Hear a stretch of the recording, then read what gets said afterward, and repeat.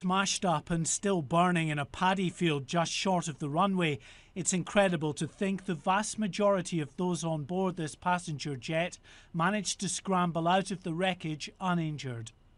A handful died, around a dozen were hurt, but a higher casualty toll was probably minimised by the fact the aircraft was travelling at a relatively low speed, coming into land at a local airport in Burma's eastern state of Shan.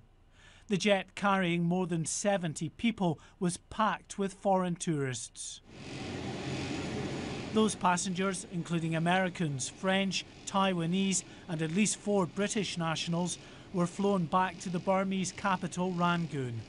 The injured were transferred to hospital, but the majority are being put up in local hotels before being interviewed by crash investigators. The cause is still to be determined, but already there are conflicting reports about what went wrong. The plane's operators, Air Bagan, said the plane hit electrical wires as it came into land, but aviation officials said the pilots had mistaken a nearby road for the runway in thick fog. Both pilots survived the crash. Their testimony will be vital in establishing the cause of the accident.